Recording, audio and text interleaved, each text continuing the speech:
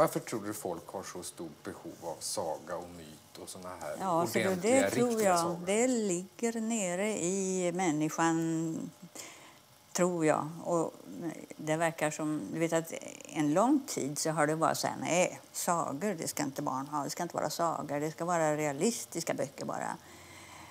Jag har skrivit sagor sedan 1949 utan att bry mig om huruvida det skulle vara sagor eller inte därför att jag vet att barn har ett behov, och inte bara barn, av sagan.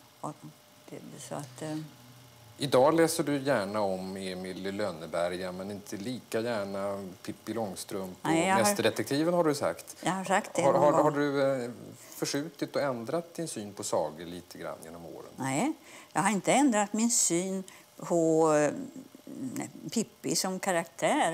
Jag tycker fortfarande mycket om Pippi.